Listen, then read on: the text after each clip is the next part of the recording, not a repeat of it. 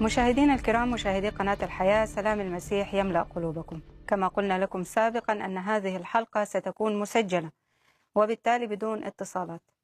نكمل مشاهدينا الأحباء في هذه الحلقة ما بدأناه في الحلقة الماضية ونواصل سيرنا في طريق التحدي الذي وضعه إله القرآن أمام البشر. وسنترك لكم في النهاية أن تحكموا على هذا الإله من خلال كلامه. فمن فمك أدينك. وسنترك أيضا لأحبائنا المسلمين سؤال الحلقة الماضية مرة أخرى. إن تبين لكم أن بالقرآن اختلافا كثيرا فهل سيكون هناك وقفة صدق مع النفس؟ نرحب سويا بالأخ وحيد. وحيد أهلا وسهلا بك. أهلا فدوى وأهلا بكل الأحباء المشاهدين في كل مكان. الرب يبارك حياة الجميع. من خلال آه، التحديات اللي إحنا آه، يعني إله القرآن اللي بيتحدى واللي إحنا شفناه في الحلقة اللي فاتت هل نجح إله القرآن في التحدي؟ آه، بالدليل والبرهان من القرآن نفسه إحنا قدمنا الأدلة من آه، كمان الأحاديث الصحيحة ومن التفاسير وجدنا أنه فيه اختلافا كثيرا. نعم إذا وحتى مش مجرد اختلاف يعني. نعم اختلافا كثيرا إذا لم يصمت. لم يصمت نعم. ولم ينجح. نعم. طيب آه ندخل في آه تحديات جديدة أو تناقضات جديدة. ونشوف منك إيه اللي أنت توصلت. تمام إحنا كنا المرة اللي فاتت تكلمنا عن السماوات والأرض وتكلمنا عن سبع أراضين آخر مرة خلينا أكمل في الاتجاه ده جزئية بسيطة نعم. ربما الوقت لم يسعفنا المرة السابقة مم. وهي هل السماء والأرض ملتصقتان أم منفصلتان السماء والأرض صحيح منفصلتان أو متصلتان كاتب القرآن اعتقد أن السماء الأرض سطح في كل القرآن ال- ال- الأرض ضحاها وبسطها وحتى القبلة فكرة القبلة موضوعة على أساس أنه الأرض سطح. نعم. ليست الأرض كرة لأنه مم. الموجود في في كندا ولا في أمريكا مش حيكون يعني له أي فرصة أنه يتجه آه، للقبلة. نعم. لأنه هو في الجهة الأخرى من الكرة الأرضية. نعم. فالأرض أساسا في القرآن سطح والسماء أيضا سطح. فكاتب القرآن جعل السماء والأرض في بعض الآيات ملتصقتين مع بعضهم. وبعدين فتق هذا الالتصاق. وده نعم. حنشوفه واضح في في آيات صريحة. بداية نشوف سورة الأنبياء. آه، في القرآن سورة الأنبياء 30 يقول أولم يرى الذين كفروا أن السماوات والأرض كانتا رتقا ففتقناهما وجعلنا من الماء كل شيء حي أفلا يؤمنون؟ أول حاجة جعلنا من الماء كل شيء حي دي مأخوذة من الكتاب المقدس في رسالة القديس بطرس. آه،. من كل شيء من الماء وبالماء. يعني خدم من النصارى عنده. خذوا من النصارى. لكن أن السماء والأرض كانتا رتقا. يعني إيه رتقا؟ رتقا يعني يعني يعني ملتصقتين, ملتصقتين. آه. آه أوكي. مع بعض. أها. لكن إيه علاقة الأرض بالسماء عشان يكون رتق طبعا الشيخ زغلول النجار عمل منا إعجاز علمي والانفجار اللي حصل. طب هو بيتكلم عن انفجار؟ إزاي بيعوج النص ويلوي عنق النصوص؟ ده بيتكلم عن أرض وسماء. دي الأرض بالنسبة للأفلاك والنجوم اللي بيتكلم عنها الشيخ زغلول. لا تعادل ولا هي حتى نقطة في في بحر. في أقل من ذلك بكثير من محيطات العالم. أقل من نقطة في محيطات العالم مم. كله. لا هنا القرآن بيتكلم بس عن السماء اللي شايفها وعن الأرض اللي هو فيها. أنهما كانتا رتقا. ففتقناهما. كانتا كده آه، طبقتين فوق بعض. ففصلنا بينهم. رفعنا السماء وخلينا الأرض في مكانها. نشوف ال- ال- التفاسير. نعم أكيد. الطبري يقول ويعلمون أن السماوات والأرض كانتا رتقا. يقول ليس فيهما ثقب. ملصوقين مع بعض. بل كانتا ملتصقتين. يقال منه رتق فلان الفتق إذا شده فهو يرتقه رتقا ورتوقا. ففتقناهما يقول فصعدناهما وفرجناهما. ثم اختلف أهل التأويل في معنى وصف الله السماوات والأرض بالرتق وكيف كان الرتق وبأي معنى فتق. طبعا ده طبيعي لو ما اختلفوا يبقى ده شيء آه، آه، غريب. نعم. الطبيعي إنهم يختلفوا لأن القرآن مبهم في كل شيء فلازم يختلفوا. ولا يعلم تفسيره تأويله إلا الله. والراسخون في العلم يقولون آمنا. يعني مش والراسخون بيعلموا زي ما بيقول البعض فهو مبهم في كل شيء. لا يعلم تفسيره وتأويله إلا الله. طيب هنا قدامنا أن السماء والأرض كانتا ملتصقتين ففتقهم رفع السماء وخلى الأرض في المكان بتاعه. فقال بعضهم إكمال الطبري. مم. عنا بذلك أن السماوات والأرض كانتا ملتصقتين ففصل الله بينهما بالهواء. يا شيخ زغلول النجار يعني أهو اللي أنتم شايفينه الهواء اللي في النص ده آه. بين السماء وبين الأرض دول كانوا ملتصقتين ففتقناهما وخلينا الهواء في النص بينهم. يعني مش انفجار والانفجار الكوني اللي حصل يعني والكلام ده الكبير زي ده. وزي اي أي شيء أي شيء بدون استثناء. آه نجيبه نفصله طبيعي هيكون الهواء في في النص. صحيح. وابن عباس ابن عباس يقول في تفسير الطبري يقول عن ابن عباس ملتصقتين فرفع السماء ووضع الأرض. كانتا ملتصق ملتزقتين ففتقهما الله. كان الحسن وقتادة يقولان كانتا جميعا ففصل الله بينهما بهذا الهواء. يعني أن نصدق الشيخ زغلول النجار أم نصدق الذين عاشوا مع رسول الإسلام؟ مم. الذين فهموا القرآن. أرباب اللغة العربية نعم، كما يقولون. نعم إذا هؤلاء يعرفون القرآن أفضل. كانتا ملتصقتين وفصل بينهم. وفي نفس الوقت بيقولوا يعني هم بيدعوا إنه في القرآن بيقول إنه الأرض كروية. دحاها دحية. فهل الدحية ال- البيضة زي ما هم بيقولوا آه، تصلح إنه السماء كمان تكون آه، بيضة والأرض بيضة ويكونوا ملتصقتان؟ لا هي آه، آه، آه، دحاها ليس بمعنى بيضة كما يدعي الأحباء المسلمون. ففي كل معاجم اللغة بدون استثناء دحاها يعني بسطها لأن النعامة حينما تدحي الأرض إنما تبسطها لتضع بيضها. فالدحية هي مكان البيض وليس البيض. فالمسلمون أمثال زغلول النجار مع احترامي الذين يحاولون أن ينوي يلوا كل نص. نعم. أخذوا المفهوم من معاجم اللغة أن المقصود بالدحية البيضة وهي ليست البيضة هي مكان الذي توضع يوضع البيض ليه لأنه بيكون عالي وواطي. فالطائر يريد أن يضع البيض في مكان كويس ثابت. نعم. فيدحي الأرض يعني يبسطها ينظمها مم. ليضع بيضه. فالكذب ليس له أقدام ويكشف سريعا ما يكشف. فإذا. كاتب القرآن يعلم ليس لديه أكثر من أن الأرض مسطحة زي ما هو شايفها زي ما هو شايف نعم. والغريب في الأمر. أن الرسول يعترف ويقول ما أوتيت من العلم إلا قليلا ما عنده علم مم.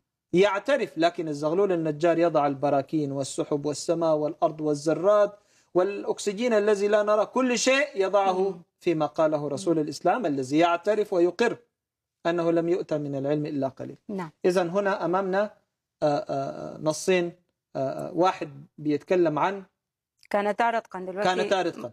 متصلتين متصلتين مهم. نأتي إلى النص الآخر مهم. في سورة فصلت نعم قل أئنكم لتكفرون بالذي خلق الأرض في يومين ده خلق الأرض لوحدها في يومين. وتجعلون له أندادا ذلك رب العالمين وجعل فيها رواسي من فوقها وبارك فيها وقدر فيها أقواتها في أربعة أيام سواء للسائلين ثم استوى إلى السماء وهي دخان فهل كانت ملتصقة بالأرض وهي دخان؟ بيقول بعد ما عمل الأرض وقدر كل شيء استوى إلى السماء ولسه كانت دخان. فقال لها وللأرض ائتيا طبعا أو كرها. قالتا أتينا طائعين فقضاهن سبع سماوات في يومين وأوحى في كل سماء أمرها وزينا السماء الدنيا بمصابيح وحفظا ذلك تقدير العزيز العليم طيب خليني لحظات مع كلمة دخان. نعم. الدخان معروف. يعني لا ليه شكل ثابت ولا هو كمادة هو ثابت متحرك ويعني خليني الحركة دي. يا. هل الحركة دي هي كانت الأرض نفس الحكاية؟ وهل دول ممكن يكونوا ملتصقين ببعض؟ لا على الإطلاق. لا يعني يمكن. الدخان كيف تلتصق السماء؟ وهي دخان بالأرض. نعم. ثم حتى في النص القرآني هنا في سورة فصلت لا يتكلم عن سماء وأرض ملتصقتين يتكلم عن أنه خلق الأرض وكل شيء تمام وبعد كده استوى إلى السماء وهي دخان. فقضاهن سبع سماوات نحن أما إحنا نحن أمام نصين مختلفين تماما نص يقول أنهما كانتا ملتصقتين. ففر...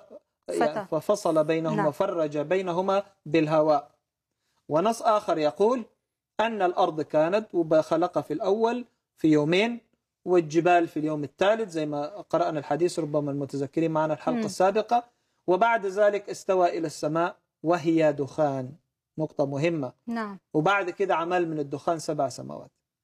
إذا التناقض موجود في السورتين وفي الآيتين. متصلتين ومنفصلتين. نعم. الأرض مرة والسماء منفصلتين ومرة الأرض والسماء متصلتين.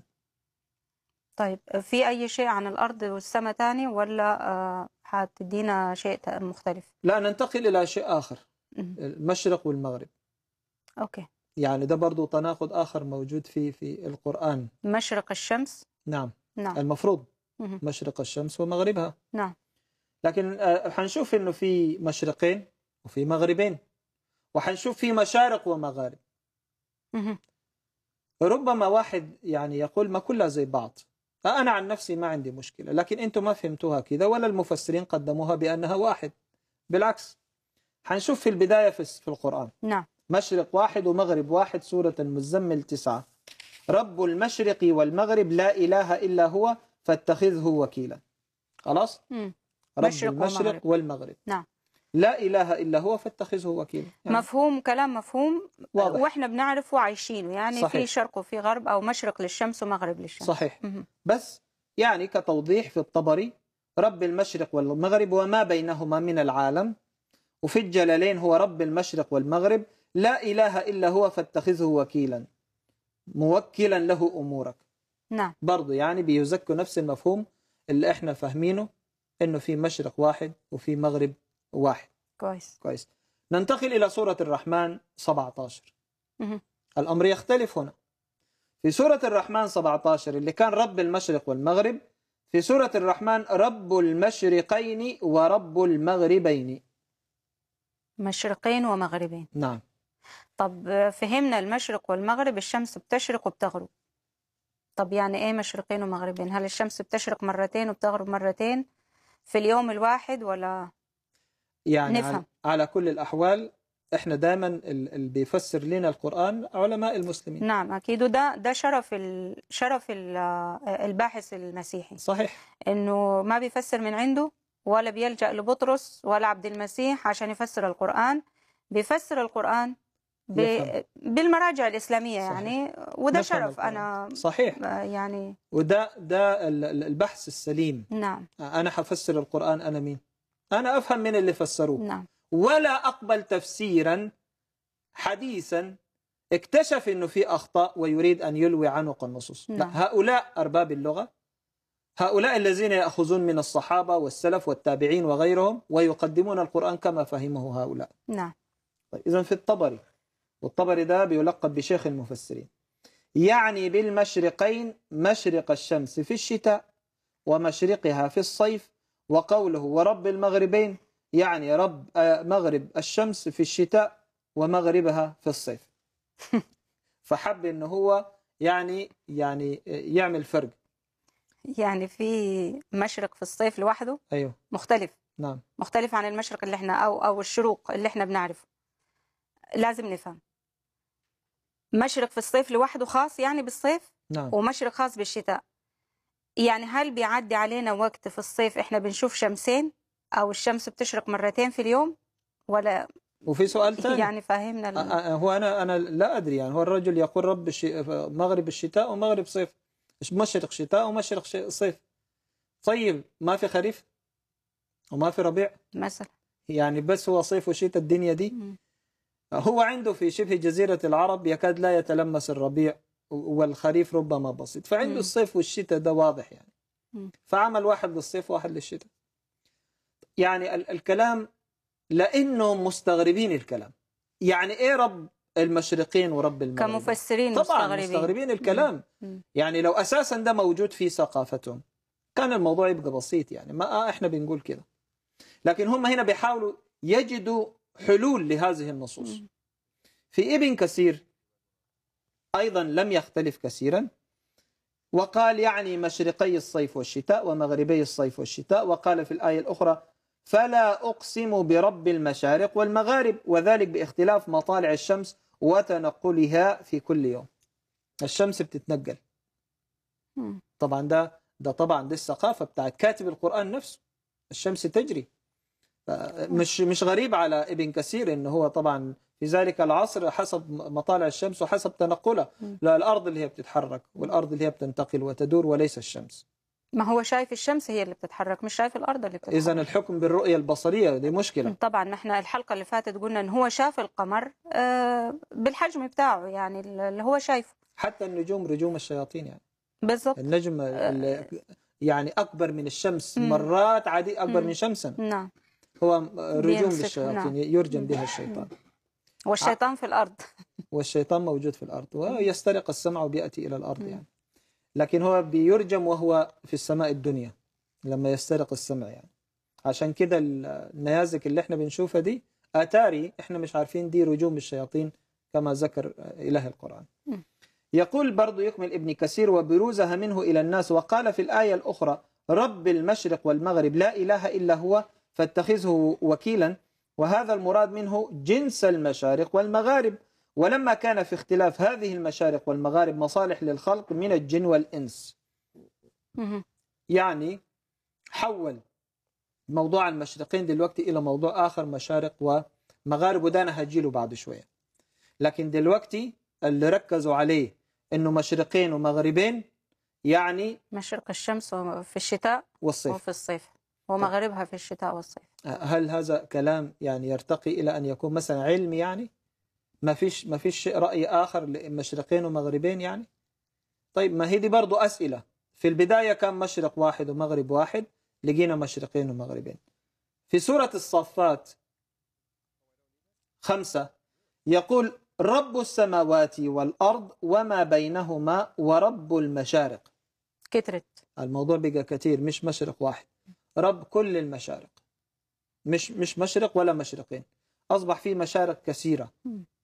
طيب هي المشارق إحنا ممكن نفهمها. نعم. يعني أنا عن نفسي ممكن أفهمها. آه، المشرق مثلا نقول في مصر آه، في مشرق وفي السودان في مشرق وفي سوريا في مشرق في الأردن في مشرق فأصبح مشارق بحسب شروق الشمس في البلد. ده ده وفق الكتاب المقدس بالمناسبة اللي حضرتك بتذكريه ده ده الكتاب المقدس. طيب هو الكتاب المقدس بيقرر الحقيقة اللي إحنا شايفينها صحيح. كمان يعني إحنا شايفين الشيء اللي قدامنا يعني الواقع حينما يتكلم. عن المشارق بيتكلم عن المشارق في كل مكان لكل الناس الموجودين في الدنيا نعم أنا مشرقي هنا توقيتا وزمنا مختلف عن مشرق شخص آخر في مكان نعم. آخر نعم فرب المشارق والمغارب نقبلها يعني آه، ما فيهاش مشكلة وهو زي ما أنت بتقول الكتاب المقدس بيتكلم عن المشارق والمغارب والمشرق والمغرب خاص بالشمس نفسها الشمس بتشرق وبتغرب لكن مشرقين ومغربين دي هي الكارثة.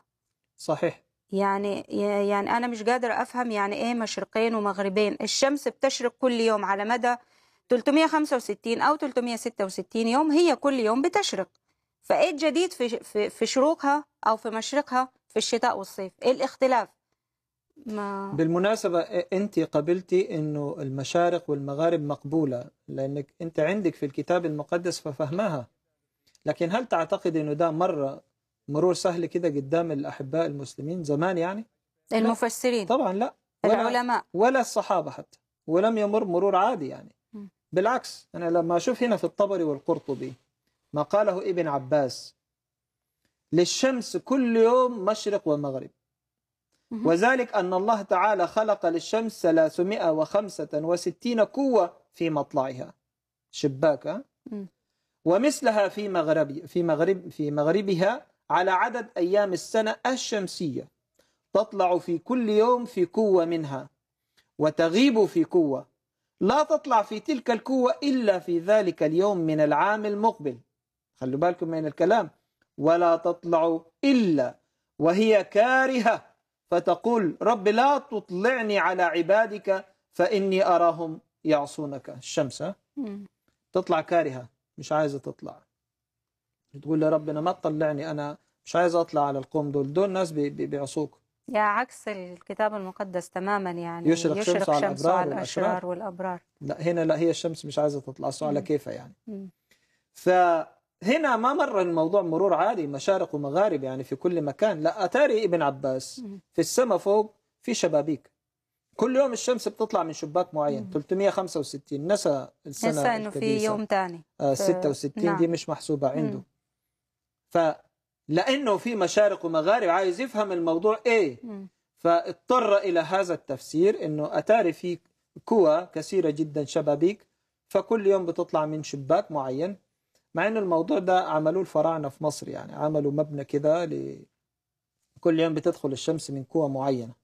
فهل الموضوع وصل لابن عباس فخلى الكوى بس في السماء فوق؟ مع أنه البشر عملوها في الأرض تحت. فإذا هذا الكلام آه، لا علاقة له أساسا بالحقيقة. وده آه، برضو بيأكد نفس آه، النظرة اللي هو شايف الشمس بحسب الحجم اللي هو شايفه. صحيح. ما يعرفش مقدار حجم الشمس قدر إيه. تمام. وبالتالي عمل لها قوة عشان تطلع, تطلع منها, منها. كلها. يبقى إذا موضوع مشارق ومغارب ما عداش. زي ما ما عداش موضوع مشرقين ومغربين. مم. اللي هي أصعب يعني. في القرطبي عن عكرمة عن ابن عباس قال صدق اسمعوا الكارثة دي أحباء المسلمين. صدق رسول الله أمية ابن أبي السلط في هذا الشعر. ماذا قال أمية؟ زحل وثور تحت رجل يمينه والنسر للأخرى وليس مرصد. والشمس تطلع كل آخر ليلة حمراء يصبح لونها يتورد. ليست بطالعة لهم في رسلها إلا معذبة وإلا تجلد.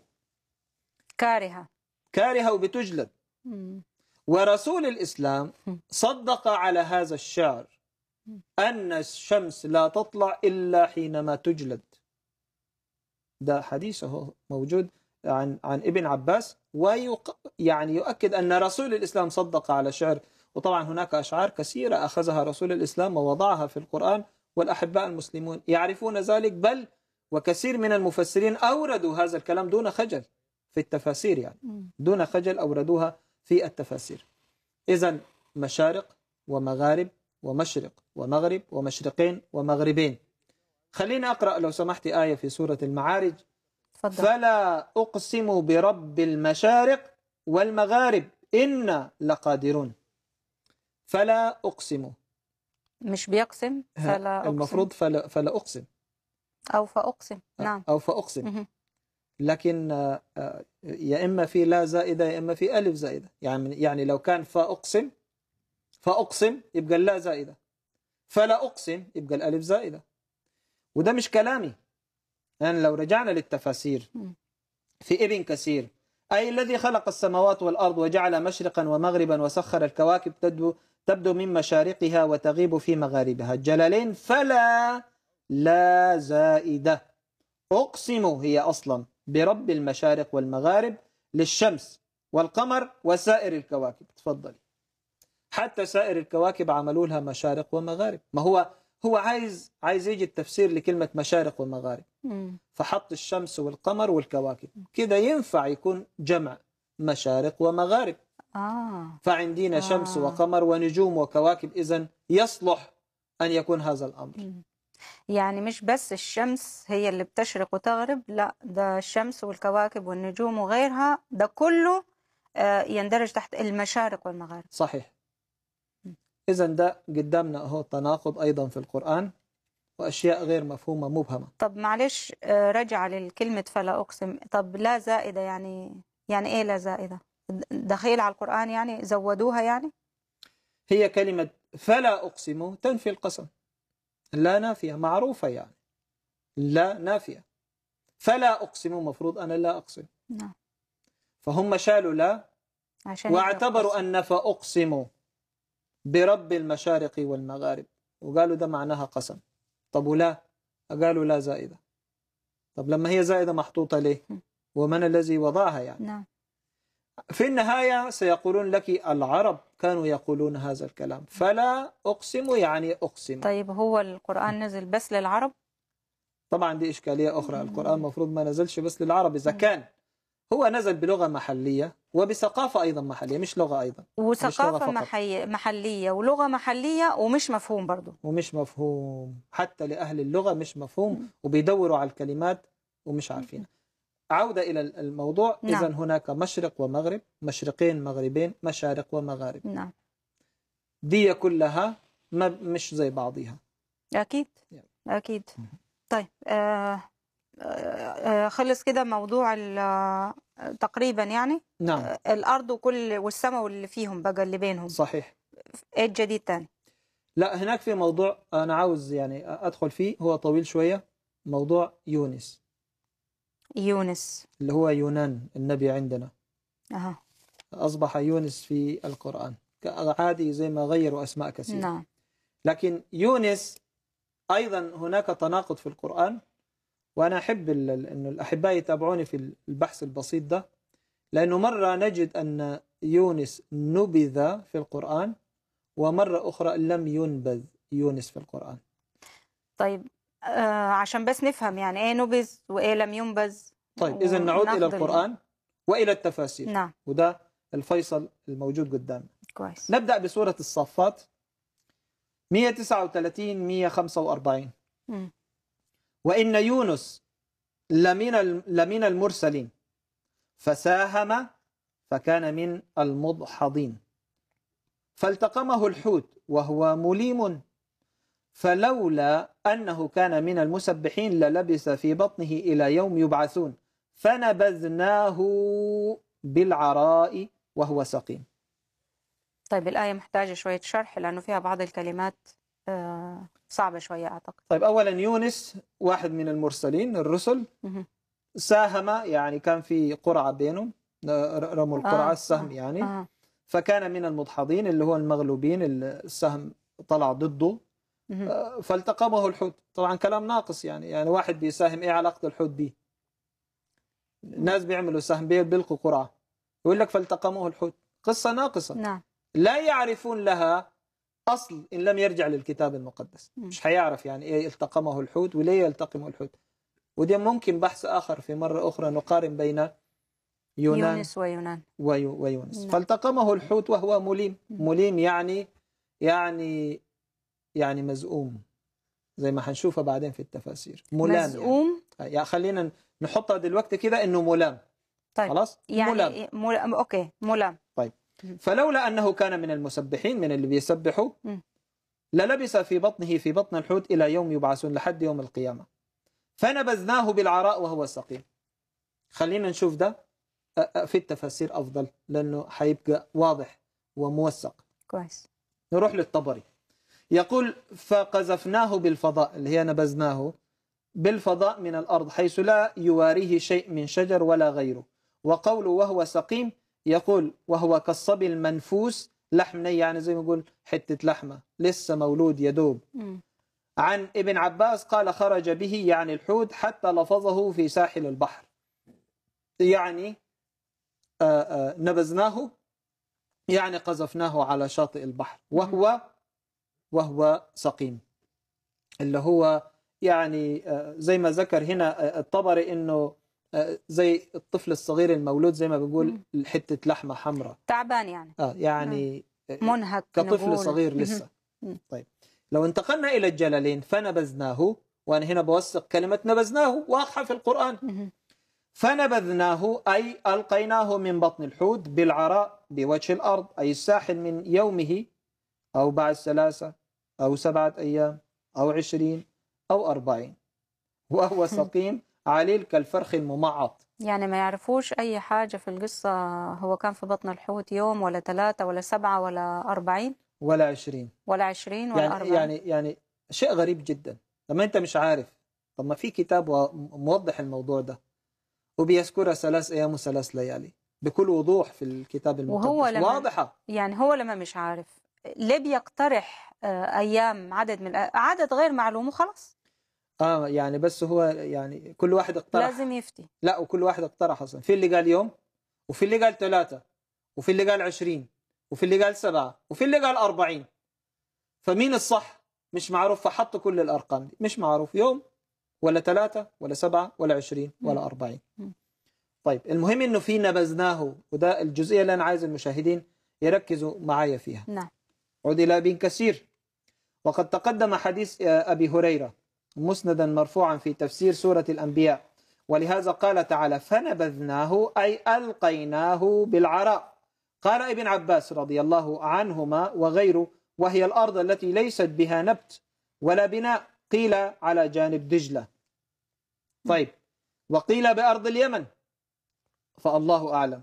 وهو سقيم أي ضعيف البدن. قال ابن مسعود رضي الله عنه كهيئة الفرخ ليس عليه ريش. وقال السدي كهيئة الظبي حين يولد وهو المنفوس. وقاله ابن عباس رضي الله عنهما وابن زيد إلى آخره. أقاويل كثيرة وكل واحد فيهم بيحاول يجتهد ليجد ما يناسب يعني الكلمة في فهمه. ومش عارفين بدجلة ولا بأرض اليمن. لا المكان ولا الأيام اللي قضاها. ولا حتى شكله يعني يا. حتى شكله هو مختلف عليه. مختلف يعني لا عارفين أيام كم قضاها.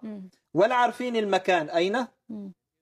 وفي نفس الوقت هنا الشكل بتاع يونان نعم. كل واحد بيديله. شكل حسب الكلمة وفهمها ليه مع أن الكتاب ليها. المقدس وضح نينوى يعني هو كان ماشي لنينوى وتحرك من يافا يعني إذا الرجوع أيضا إلى هذا المكان لكي ما يستقل رحلته من جديد واضح. أصل دي كارثة يعني لما يبقى رسول وأنت بتقول إنه الكتاب المقدس محرف وممكن قصة يونان تكون محرفة بالنسبة لك طبعا. مم. طيب جبت أنت القصة. يعني يعني آه، لخصتها في كم كلمة؟ عملت فيها تشويش كبير جدا للمفسرين والناس مش فاهم أي حاجة. آه، دي كارثة. ده ده رسول. صحيح. وقصته ورسالته. مش موجودة في في القرآن مش موجودة. وآمنا بكل الرسل. آه، لا وبعدين يعني أنت قصتك خطأ. طيب آه، أوكي أنا خطأ. فين الصح. الصح ناقص. يبقى الخطأ كامل ومفصل وجميل. نعم. والصح هو الناقص ومش مفهوم. واحد قاعد في السفينة التقموا الحوت. فين في القرآن إنه ألقيناه إلى. البحر مثلا؟ دخلوا السفينة يمكن. إذا في أشياء مفروض يركزوا عليها. المهم نعم. إذا عزيزي المشاهد ركزنا في القرآن والتفاسير إنه تم نبذ يونان إلى من الحوت. من الحوت إلى إلى الشاطئ الأرض. طيب. ننتقل إلى سورة القلم 48 وخ... إلى 50 نعم. يقول فاصبر الكلام موجه لرسول الإسلام. فاصبر لحكم ربك ولا تكن كصاحب الحوت إذ نادى وهو مكظوم لولا أن تداركه نعمة من ربه لنبذ بالعراء وهو مزموم فاجتباه ربه فجعله من الصالحين. لولا لنبذ. يعني لولا. نعمة ربه لنبذ. يعني لم ينبذ. وهناك نبذ. هناك نبذ طبعا. وهنا لم ينبذ. هنا لم ينبذ. حنشوف المفسرين وحنشوف المحاولة اللي حاولوا يطلعوا بيها من ال- من المأزق. ده مأزق فهموا صعب. الموضوع. طبعا عرفوا في في اقتنا- آه، تناقض واختلاف. فحبوا طبعا عرفوا. وفي منهم اللي هرب من التفسير تماما وحقول اسمه. واسمه كبير الطبري بداية شيخ المفسرين. لولا أن تدارك صاحب الحوت نعمة من ربه فرحمه بها وتاب عليه من مغاضبته ربه لنبذ بالعراء وهو الفضاء من الأرض. عن ابن عباس في قوله وهو مزموم يقول وهو مليم. وعن المعتبر عن أبيه عن آ- آ- آ- بكر وهو المزموم قال هو مذنب. دلوقتي هنا أنا عايز المشاهد يركز معايا في كذا حاجة. أولا كلمة مليم تعادل مزموم ودي الكلمة اللي أنا من شوية ذكرتها وقلت لك هناخدها دلوقتي نعم. على أساس إيه؟ ملام. نعم. طيب دلوقتي كلمة مليم تعادل مزموم مم. مزموم يعني مذنب. هو المذنب في. نفس النص هنا. بعدين الطبري بيقول آه لولا رحمة ربه لنبذ بالعراء. طب ما هو في النص اللي هناك نبذناه. منبوذ هناك لفظ الحوت. نعم. وأوردنا ال- التفاسير اللي بتؤكد هذا الأمر. في الجلالين. طيب لحظة قبل اتفضلي. الجلالين. هو ما تعرضش دلوقتي للتناقض. هو سابه. سابه. الطبري سابه. ما تعرضش للتناقض. لم يتعرض. يعني عدت كده عليه ولا قصد إنه هيحط نفسه في ورطة هيحط نفسه في ورطة وهو عارف كده وعلشان كده في مفسر آخر عمل شيء غريب الجلالين زي ما بنقول آه، فسر الماء بعد, بعد الجهد, الجهد. بماء مم. ده اللي عمله الجلالين فما الذي قاله الجلالان. نعم ولم تكن ولا تكن كصاحب الحوت في الضجر والعجلة وهو يونس عليه السلام إذ نادى دعا ربه وهو مجزوم مملوء غما في بطن الحوت. لولا أن تداركه لولا أن أدركه نعمة آه، رب رحمة يعني من ربه لنبذ من بطن الحوت بالعراء بالأرض الفضاء وهو مزموم. لكنه رحم فنبذ غير مزموم. نبذ. نبذ. يعني الجلالان بيعترفوا إنه نبذ. ويرجع الرحمة على كلمة مزموم. إنه مزموم يعني هو نبذ. طب القرآن بيقول لم ينبذ. نعم. ف فحاولوا فبركة الأمر. من نبذ إلى ما بعد نبذ سقيم ومزموم يعني يعني هم أكدوا ال ال آه، النبذ. نعم. لكن نفوا عنه آه، ما بعد كده اللي هو المذموم. المزموم. هو بس مش مذموم. هو نبذ بس مش مذموم. صحيح وسياق القرآن لا يقول ذلك. سياق لما نشوف كلمة لولا لولا لا تتناسب مع ما ذهبوا إليه وهو بعد ال- ال- ال- الخبر فذهبوا إلى كلمة مزموم وأنا حأكد الكلام ده برضه. طيب آه، قبل ما أتأكد هي تعبير لولا تداركه رحمة ربه. آه، دي معناه إن في شيء حصل من الله. صحيح. يعني ما- يعني آه، في شيء مش كويس كان حيحصل بس تداركته نعمة الله. صحيح. وبعد لا. أن تداركته رحمة الله نبذوا برضه يعني لفظوا الحوت أيوه أيوه. وهو سقيم. مم. في العراء وزي الطفل وزي ممعط من غير ريش وإلى آخره. فالجلالان هنا اعترفوا هو نبذ. لكن حاولوا يفبركوا الموضوع. لا هو نبذ مزموم آه، عفوا سقيم مش مزموم لأنه هنا في آخر جملة لو. لاحظت معايا من ربه لنبذ من بطن الحوت بالعراء بالأرض الفداء وهو مزموم لكنه رحمه دي الرحمة دي النعمة بقى. فنبذ غير مزموم يعني الفكرة عايزين يشيلوا كلمة مزموم لأنها كلمة صعبة. كلمة صعبة أن تقال على رسول. وهم مش واخدين بالهم أن القرآن قالها على يونس.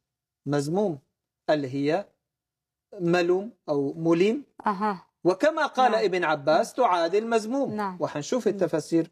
واحدة واحدة خلينا ننتقل إلى ابن كثير موضوع شائك فعلا محتاج تركيز آه، أنا حاططها كده للأحباء المشاهدين المسلمين أها. اذهبوا إلى تفسير ابن كثير هرب هروب مكشوف ومريع هرب ابن كثير من تفسير هذا الأمر لأنه اكتشف التناقض يعني طيب أنت ليه اعتبرته هروب ما هو ممكن يكون آه، آه، مثلا خطأ في في الطباعة؟ لا أنا رجعت ابن كثير في أكثر من آه، مكان.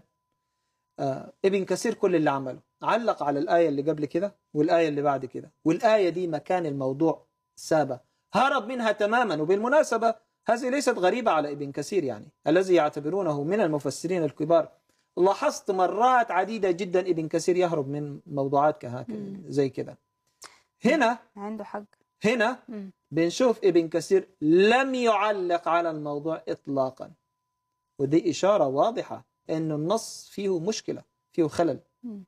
فإذا آية تقول نبذناه وآية تقول لولا رحمة ربه لنبذناه لنبذ. يعني ما نبذناهوش. القرطبي نأتي إلى القرطبي بقى اللي هو حاول يفبرك الموضوع. مع أن أنا أحترم القرطبي جدا لأنه رجل لا يجمل عقيدته ولا يفعل ما يفعل ابن كثير على كل الأحوال. القرطبي يقول أي لنبذ مزموما ولكنه نبذ سقيما. ده القرطبي. غير مزموم ومعنى مزموم في قول ابن عباس مليم. قال بكر ابن عبد الله مذنب وقيل مزموم مبعد من كل خير. يعني يونس مزموم مبعد من كل خير. ليه مزموم لأنه مزموم تعادل مليم عند حبر الأمة. مم. أنا حفهم أكثر من حبر الأمة. فالقرطبي يقول أي لنبذ مزموما ولكنه نبذ سقيما. عايزين يطلعوا من كلمة مذموم. عايزين يطلعوا من كلمة مزموم ويطلعوا من كلمة نبذة فعايزين يقولوا إن المشكلة مش في نبذة الكلمة في إنه هل نبذ مزموما في كلمة أم لم نبذ ينبذ قصدك. سقي سقيما. في نعم. كلمة لم ينبذ لأن هو تمام. نبذ. تمام. أها. فعايزين يطلعوا من كلمة النبذ دي وعايزين يقولوا إن ال- ال- التناقض والاختلاف ليس في نبذة ولكن في شكله. هل نبذ مزموما أم آه. نبذ سقيما.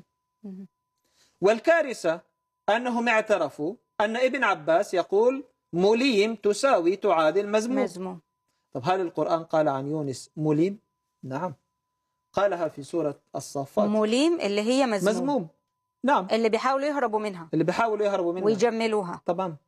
في سورة الصفات 142 فالتقمه الحوت وهو مليم. إيه رأيك عزيزي المشاهد؟ إيه اللفة دي؟ اللفة والدوران والكلام ده كله. يبقى اذا اللي عاوزين يطلعوا منه يونس إنه أصلا ما كانش مذموم طب كان مذموم وهو في بطن الحوت بعد كده نبذ إلى العراء خلاص اتشال منه الذم اللي كان موجود فيه ما هي هي نفس الموضوع نفس الفكرة حاولوا الخروج من مأزق وقعوا في مأزق نعم. آخر نعم صح. إنه الفكرة موجودة في القرآن أن مذموم تعني مليم ومليم تعني مذموم والقرآن وصف يونس بأنه مذموم أي المذنب المبعد عن خير الله نبي. طبعا نبي من الأنبياء. ومرسل كمان. طبعاً. يعني مش مش بس نبي. صحيح. مم. فاذا حينما آه، ندخل إلى ال- ال- القرآن آه، حنشوف إنه كلمة مذموم دي صعبة جدا جدا التي ألصقت ب بيونس. صعبة جدا آه، يعني يعني هم فاهمين معنى كلمة مذموم إذا بالطريقة اللي أنت بتقولها إن هي صعبة جدا. طبعا. وممكن ده اللي خلاهم آه، يعملوا كل اللي بيعملوه ده عشان يبعدوا أو ينفوا عنه تهمة الزأم أو المذمة اللي هي مستخدمة.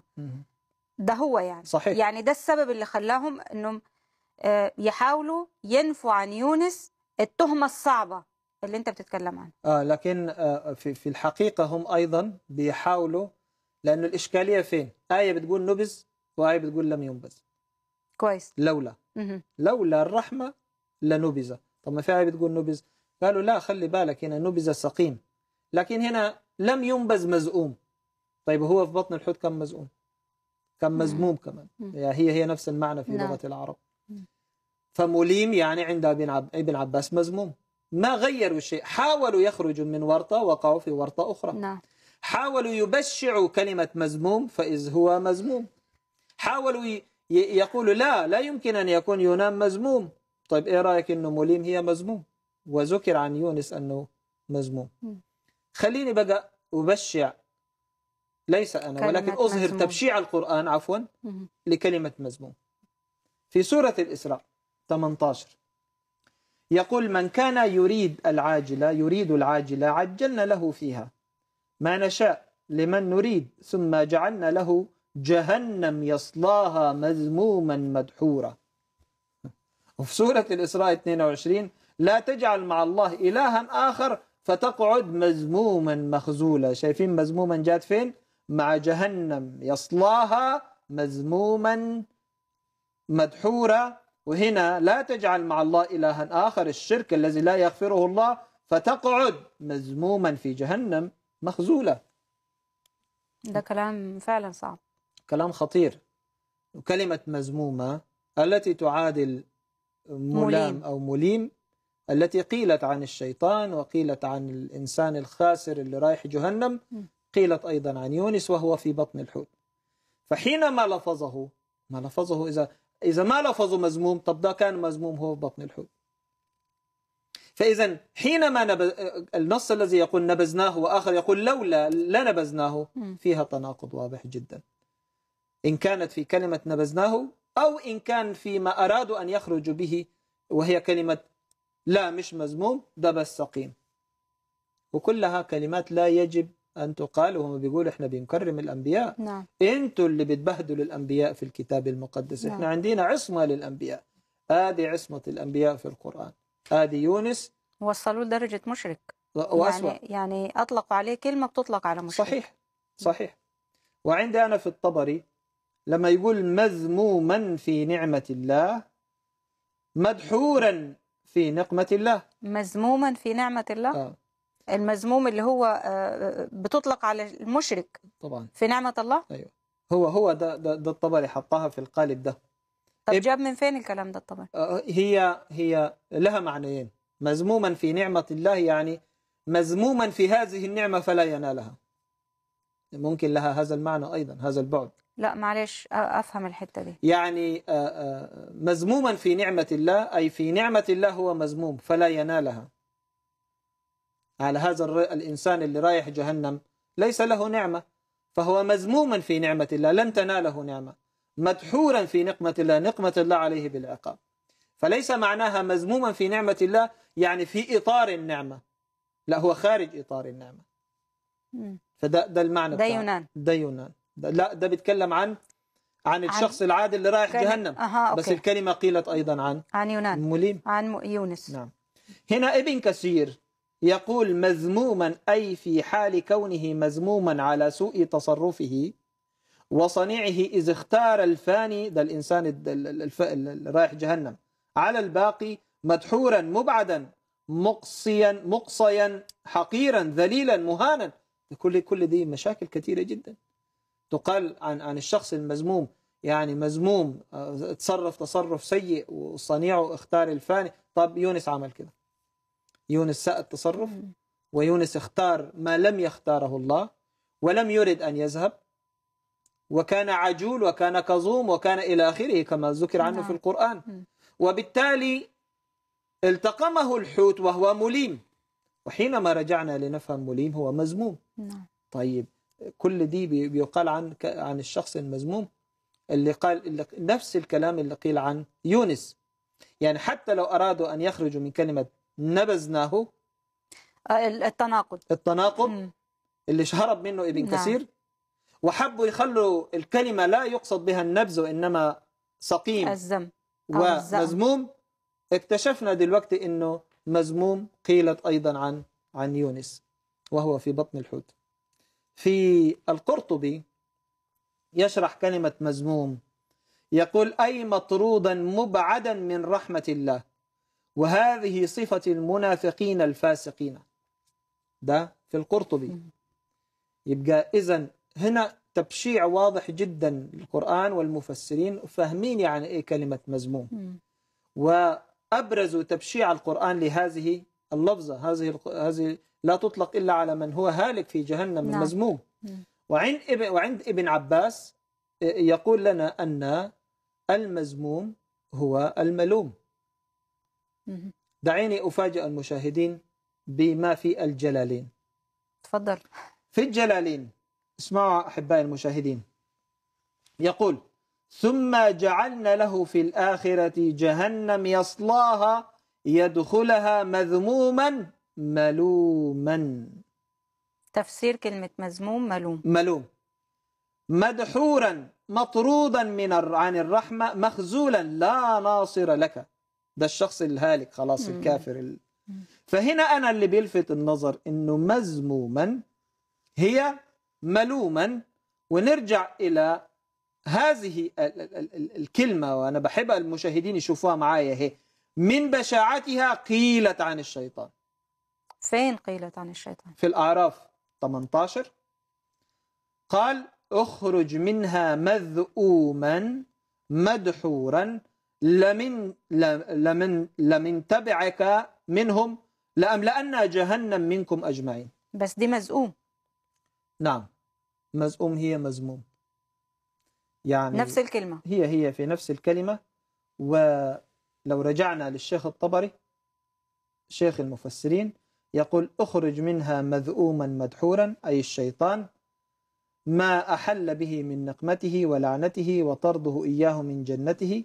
يقول قال الله له عند ذلك اخرج منها أي من الجنة مذءوما مدحورا. يقول معيبا والذأم العيب. وأما المدحور فهو المقصى إذا أقصاه وأخرجه ومنه قولهم أدحر عنك الشيطان. عن عن ابن عباس قوله قال أخرج منها مذءوما يقول صغيرا منفيا. دي بداية بعض الكلمات والمعاني لكلمة مذءوما مش مذموما. لكن هل مذءوما تعادل مذموما؟ نعم. في الجلالين. خلينا نشير أيضا لمعاني. أخرى قال اخرج منها مذءوما بالهمزة معيبا أو ممقوتا مدحورا مبعدا عن الرحمة. وفي ابن كثير يقول أكد تعالى عليه اللعنة والطرد والإبعاد والنفي عن محل الملأ الأعلى بقوله أخرج منها مزؤوما مدحورا يعني إذن كل هذه الآن تبشع لنا كلمة مزؤومة. إنه كلمة مزؤومة دي كلمة صعبة جدا. نعم. لكن يبقى لدينا أن نوثق أن كلمة مزؤومة التي قيلت عن الشيطان هي بذاتها مذمومة التي قيلت عن الهالكين التي تعادل كلمة ملومة أو مليم التي قيلت عن يونس. ننتقل إلى القرطبي. تفضل. القرطبي يقول مذؤومة أي مزمومة والذأم العيب بتخفيف الميم. قال ابن زيد مزؤومة ومزمومة سواء. وقرأ الأعمش مذومة والمعنى واحد. إذا إحنا بنقدم بالدليل والبرهان. اسمعي كلمة مزمومة كلمة سيئة جدا. لا تقال إلا عن المبعد عن رحمة الله والهالك. نعم. وكلمة مذمومة قيلت أيضا عن الشيطان مذؤومة وهي أيضا تعني الهالك يعني بالثلث. هذه الكلمة السيئة البشعة قيلت عن يونس وهو في بطن الحوت فالتقمه وهو مليم. ورأينا ابن عباس يقول مليم يعني مزموم ووجدنا في الجلالين التفسير أن مزموم يعني مليم. إذا كل هذه آه، الكلمات معا تشير إلى أن المحاولة التي أرادوا أن يصلحوا بها التناقض الموجود في القرآن فشلوا بل ووقعوا في مشكلة أكبر أن أصبح يونس مذؤوما مزموما وهو في جوف الحوت.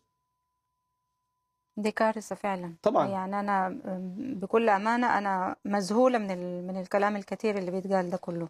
أنا عايز أعمل ملخص بس للحتة دي لو سمحت. أكيد أكيد اتفضل. يعني عاوز أرجع للقرطبي. حينما يقول أي لنبذ مزموما ولكنه نبذ سقيما. ده في البداية. نعم. غير مزموم ومعنى مزموم في قول ابن عباس مليم.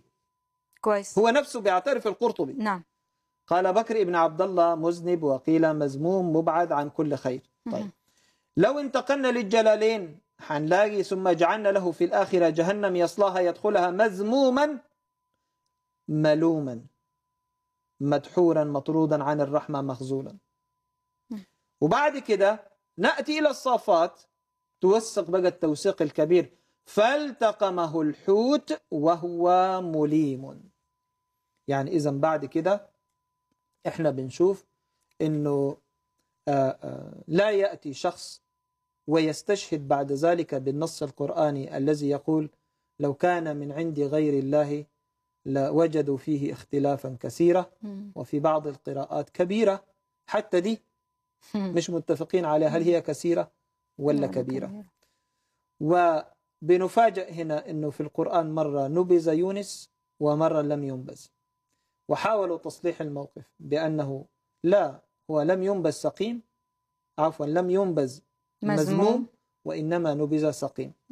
وحينما رجعنا إلى التفاصيل وجدنا أن مليم تعادل كلمة مذؤوم ومذؤوم وأن الكلمة بشعة جدا في القرآن ولا تطلق إلا على الهالكين في جهنم يصلونها كما ذكر أو عن الشيطان نعم. المبعد تماما عن كل خير وكل رحمة نعم. من آه، الله. إذا في القرآن هناك أيضا تناقضات زي ما ذكرنا في ال- الحلقات السابقة. ولا حد يتكلم عن عن عصمة الأنبياء؟ صحيح. والراجل مذنب؟ وخد كلمة يعني ما فيش أسوأ من إنه ياخد صفة اتصف بها الشيطان. صحيح. أو كلمة أو عقاب أو أيا كان يعني كلمة مزؤوم. صفة. تمام. أخرج منها مزؤومة. تمام. طيب آه في في آه خلاص موضوع آه يونس؟ كده موضوع يونس خلص. نعم. طيب هل في عندك تحديات تاني لإله للقرآن. القرآن؟ نعم. ال ال في القرآن في موضوع ال- الكفر آه بعد الإيمان يغفره الله. آه ومرة أخرى نجده أنه لا يغفر. الكفر يعني الكفر. بعد الإيمان. مغفور ولا مش مغفور؟ أيضا هذه الجزئية آه، ممكن نتعرض لها ونشوف رأي القرآن مرة بيقول إيه. ومرة أخرى ما الذي يقوله القرآن. تفضل. ممكن ننتقل إلى سورة النحل. 106 و 107 يقول آه، كاتب القرآن من كفر بالله من بعد إيمانه إلا من أكره وقلبه مطمئن بالإيمان ولكن من شرح بالكفر صدرا فعليهم غضب من الله ولهم عذاب عظيم. ذلك بأنهم استحبوا الحياة الدنيا على الآخرة وأن الله لا يهدي القوم الكافرين. هنا بنشوف آه، آه، في سورة النحل 106 و 107 آه، بالنسبة لنا إحنا كمسيحيين يعني أنا مش عايز أعدي الحتة دي قبل أن ندخل إلى موضوع التحدي اللي هو عامله. نعم. كارثة كبيرة جدا. من كفر بالله من بعد إيمانه إلا من أكره أوكي وقلبه مطمئن مم. إلا من أكره مم. وقلبه مطمئن بالإيمان يعني مثل زي ما أنت عايز مثل إنك أنت كاره للإسلام وسب الإسلام وسب رسول الإسلام زي ما عمل آه، عمار بن ياسر. ما هو عمل كده. فلا مشكلة أن تمثل على الآخرين أنك لست مسلما وأنك كاره وكافر. وكل شيء. بس قلبك يكون مطمئن. عش هذا النفاق. صورة أمام الناس وصورة أخرى مع نفسك. فإله القرآن يحلل هذا الأمر النفاق. وهذا ليس أمر غريب يعني حتى في سورة آل عمران 28 نفس المفهوم موجود يعني إلا أن تتقوا منهم تقات. فهذه الجزئية مرفوضة عند أهل الكتاب تماما. الإنكار. طبعا المسيح قالها صراحة من ينكرني قدام الناس أنكر قدام أبي الذي في السماوات. قدام الملائكة ينكر تماما. مش زي ما قال رسول الإسلام لعمار بن ياسر. يعني عمار بن ياسر جاء زعلان وباكي وحزين أنا عملت وسبيت ويعني تلفظت ألفاظ ليست جيدة في حقك والإسلام. فكان المفترض أنا كنت أنتظر وأنا أقرأ لأول مرة هذا الأمر كنت أنتظر من رسول الإسلام أن يوبخ عمار بن ياسر ويقول له كيف تجرأت أن تسبني؟ فأنا أشرف خلق الله. وكيف تجرأت أن يعني تتكلم على القرآن؟ آه، كنت أنتظر هذا التوبيخ. الفاجعة أن رسول الإسلام قال له لا مشكلة إن عادوا عد. لو رجعوا لك مرة أخرى وعادوا إلى تعذيبك وضربك عد وسب وإلعن واعمل كل شيء. هذا محلل في الإسلام. هذا كلام رسول الإسلام لعمار بن ياسر. هل هذا يقره أي شرع ولا أي دين ولا أي عرف في, في كل لا أظن حتى الوثني عابد شجر وحجر وبقر لا يقر هذا الأمر. أنه النفاق والتمثيل وأنه آم، أعيش أنا بصورة وأمام المجتمع صورة أخرى وهو ما يمارسه المسلم حقيقة في الدول غير الإسلامية صحيح. يمارس هذه التقية. صحيح. وكما قيل آه، في تفسير سورة آل عمران 28 أعتقد عن حسن البصري حسب ما أنا متذكر إنا لنكشر في آه، وجوه قوم وقلوبنا تلعنهم. نكشر يعني بنبين أسناننا كأننا بنضحك يعني. لكن قلوبنا تلعن هؤلاء الناس. لا توجد محبة للآخر في الإسلام ممنوع. أنت عشان تحب الله تبغض الآخر هذا غير يعني غير المسلم يعني. إنما المحبة بين المسلمين والتراحم بين المسلمين فقط. نعم. فأنا لم أرد أن أفوت هذه الفرصة لأقول للأحباء المسلمين الذين يسمعون يعني هذا النص فقط لوحده. كافي لك أن تنتبه أن هذا لا يمكن أن يكون كلام الله. يعني هل يمكن لله أن يق- يقول لك نافق؟ يرضى الله أن تسبه؟ يرضى الله أن تسب كتابه؟ ويقول لك لا مشكلة حفاظا على حياتك يعني. لماذا العقيدة التي قبلكم علمت بغير ذلك؟ لماذا المسيحية علمت لا؟ عذبوك ضربوك أرادوا قتلك. قل أنا مسيحي. هذه هذا هو الاستشهاد في المسيحية. مش الاستشهاد الشهيد اللي بيفجر نفسه هذا منتحر. اللي يروح يفجر نفسه ده في المسيحية منتحر معروفة يعني. لا الشهيد في المسيحية هو الذي يستشهد من أجل المسيح من أجل إيمانه من أجل عقيدته. فإحنا هنا بنرى صورة أخرى عن عمار بن ياسر وكيف أنه يعني استخدم التقية ورجع لرسول الإسلام لينصحه. قال له لا ما فعلته من كذب ودجل وسب وإهانة هو الصح فإن عادوا عد مرة أخرى. نعم. طيب يعني يعني آه من يكفر؟ آه نعم أنا ع- يعني لو رجعنا للجزئية من يكفر في النص القرآني بالله من بعد إيمانه. مهم. إلا هنا في إلا. الاستثناء ده. إلا الاستثناء المكره لكن قلبه آه، عامر عامر بالإيمان. له عذاب. يعني اللي بيكفر بعد الإيمان له عذاب. ما. ما فيش له آه، آه، آه، رحمة. ما في مغفرة. لهم عذاب عظيم. ذلك بأنهم استحبوا الحياة الدنيا على الآخرة وأن الله لا يهدي القوم الكافرين. ويعني هو اللي اللي عمار؟ عمار بن ياسر. ما استحبش الحياة الدنيا؟ طبعا استحب الحياة الدنيا. طيب. ما هو هنا دي المشكلة في القرآن لا يعالج الأمر. وعمار بن ياسر أحب الدنيا. نعم. و... و... وأعلن كفره بالإسلام وسب وقال ما قاله ليه عمل كده؟ أحب الدنيا. طبعا. خاف على حياته. خاف على حياته. مم. طيب هو ده مش يعني آه، يعني هو ده أحب الدنيا. وأنت بتقول هنا بأنهم استحبوا الحياة الدنيا على الآخرة. عايز يلقى منفذ فقال لك لا بس في فرق. ده قلبه آمن بالله نعم. عامر بالإيمان. مم. يعني ممكن شخص آخر يقوم بنفس الفعل وهو صادق فيما يقول ولا يريد الإسلام وحينما يأتي إلى المحك يقول نفس الكلام اللي قاله عمار بن ياسر. نعم. أنا مؤمن بالإسلام وأنا كويس. مم. خلاص يبقى ما في مشكلة. لأنه قلبه عامر بالإيمان.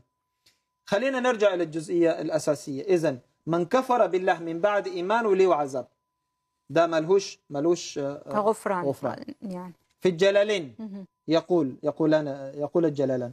من كفر بالله من بعد إيمانه إلا من أكره على التلفظ بالكفر فتلفظ به وقلبه مطمئن بالإيمان ومن مبتدأ أو شرطية شرطية آه، والخبر أو الجواب لهم آه، وعيد شديد دل لهم وعيد شديد دل على هذا ولكن من شرح بالكفر صدرا له أي فتحه ووسعه بمعنى طابت به نفسه ذلك الوعيد لهم بأنهم استحبوا الحياة الدنيا. اختاروها. دول اللي ليهم الوعيد. اللي لا يعني ما فيش كان آه، أي إشكالية ولكن هو أحب الحياة وكفر من بعد الإيمان مم. ابن كثير أنا بشرح للمشاهدين اللفظ ده عشان نعم. ننتقل إلى الجزئية الأخرى في ابن كثير أخبر تعالى عمن كفر به بعد الإيمان والتبصر وشرح صدره بالكفر واطمأن به أنه قد غضب عليه لعلمهم بالإيمان ثم عدولهم عنه وأن لهم عذابا عظيما في الدار الآخرة. وأما قول إلا من أكره وقلبه مطمئن بالإيمان فهو استثناء ممن كفر بلسانه ووافق المشركين بلفظه مكرها لما ناله من ضرب وأذى وقلب يأبى ما يقول وهو مطمئن بالإيمان بالله ورسوله. أنا هنا كل اللي بعمله بوثق المعلومة الأولى إنه ال ال الذي كفر من بعد الإيمان نعم. له عذاب. إلا الحالة المستثناة اللي هي قلبه يكون عامر. وده ده أمر فعلا في منتهى الغرابة يعني. يعني حتى في العهد القديم عند اليهود هناك من استشهد ونشر وتكلم عنه الوحي الإلهي في العبرانيين. نشروا وعذبوا وقتلوا وهجروا وعمل بهم كل شيء ولكنهم لم ينكروا إلههم. هذه هذه روعة المؤمن الحقيقي. ما الفرق بين مؤمن حقيقي ومؤمن وواحد مزيف؟ يعني الاثنين يطلعوا ينكروا الدين والاثنين يطلعوا يسبوا في الدين. نعم. وبعد كده نقول لا واحد قلبه مطمئن والآخر لا قلبه مش مطمئن. لا. قبل ال- الإسلام عزيزي المشاهد الأمر لم يكن كذلك. قبل الإسلام في آه، احترام لله احترام وقدسية للكتاب نعم. احترام وقدسية للأنبياء. فلا يسمح. يعني هنا في رخصة لسب الرسول. نعم. طالما. في خطر عليك. عندك رخصة سب الرسول. وعندك رخصة سب الإسلام.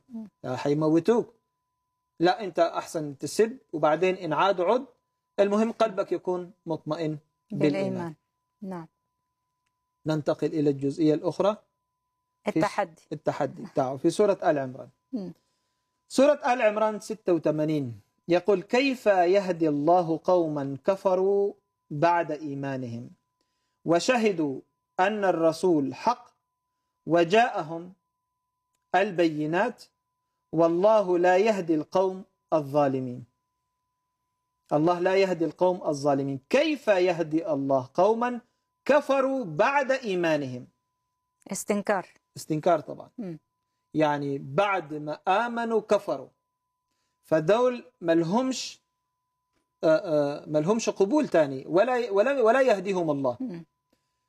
آه، طيب ما انت من شوية كان رأيك مختلف إنه إنه الذين في استثناءات. في استثناءات. خلينا نشوف الجلالين. ما الذي قاله الجلالين تفضل. في الجلالين كيف أي لا يهدي الله قوما كفروا بعد إيمانهم وشهدوا؟ أي شهادتهم أن الرسول حق وقد جاءهم البينات الحجج الظاهرات على صدق النبي والله لا يهدي القوم الظالمين أي الكافرين. الله لا يهدي القوم الكافرين. بس إحنا بنشوف اللي بيكفر وقلبه مطمئن يرجع ما فيش مشكلة. مع إنه كفر. مع إنه كفر. م. كفر وسب وكل شيء. ولكن هو هو شايف إنه طالما قلبه مطمئن ما فيش مشكلة. وإحنا مش شايفين كده لأنه أهل الكتاب بيشوفوا أن الإيمان يعبر عنه باللسان. الإيمان أنا بعبر وبنطق عن إيماني بلساني. فإن كان لساني يقول بغير ما في قلبي فده كذب ودجل. مش زي ما في الإسلام كذب اسمه المعاريض. وده محلل في الإسلام كذب المعاريض. إنه واحد يقول للآخر يا فلان أنا أحبك بس يكون باصص لمكان آخر. وقاصد الشيء الآخر هو بيتكلم عن حبه للآخر. وليس لشخص آخر. آه، آه، مع أنه نطق اسم هذا نعم، الشخص نعم. هذا كذب. معارض يجوز يعني في الإسلام. فلا إحنا ما عندنا كده إحنا عندنا ال- ال- النصوص واضحة. ولو كان في كفر الكفر ليس فقط مجرد لسان الكفر لسان وقلب. وليس فقط مجرد قلب إنما قلب ولسان أيضا آه، آه، معا. نعم. فهنا إحنا بنشوف إنه النصين السابقين بيتكلموا عن إنه لا يوجد غفران للذي يكفر بعد إيمانه. نعم. لا يوجد غفران. في سورة النساء 153 الأمر مختلف. لو شفنا عزيزي المشاهد سورة النساء 153 يقول يسألك أهل الكتاب أن تنزل عليهم كتابا من السماء. فقد سألوا موسى أكبر من ذلك فقالوا أرنا الله جهرا. فأخذتهم الصاعقة بظلمهم ثم اتخذوا العجل. كل ده شرك أهو. من بعد ما جاءتهم البينات فعفونا عن ذلك وأتينا موسى سلطانا مبينا. ما أنت من شوية بتقول لا عفو للمشرك وللكافر. إزاي هنا عفوت؟ عن بني إسرائيل. عن بني إسرائيل. طيب هل بني إسرائيل هنا أجبروا أكرهوا على ال... هل كانوا مكرهين يعني زي عمار بن ياسر؟ لا ما كانش في إكراه. هم من نفسهم باختيارهم عملوا العجل وعبدوا العجل. وده شرك. والله كمان ده شرك خلي بالك لا لا يغفر يعني. نعم. الشرك لا يغفره الله طبعا طبعا. يغفر كل شيء دون إلا الشرك, الشرك نعم. إلا الشرك لا. يغفر. مم. في الأول بنشوف إنه اللي آمن وكفر له عذاب. اللي آمن وكفر. وزكت النص الثاني اللي إحنا قرأناه وقرأنا التفاسير وشفنا عمار بن ياسر وهذا أمر مرفوض لينا ومشيناه برضو.